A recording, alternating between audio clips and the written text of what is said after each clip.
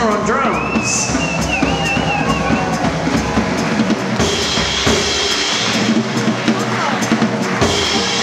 It's okay, you don't need to be shy, you can come a bit closer.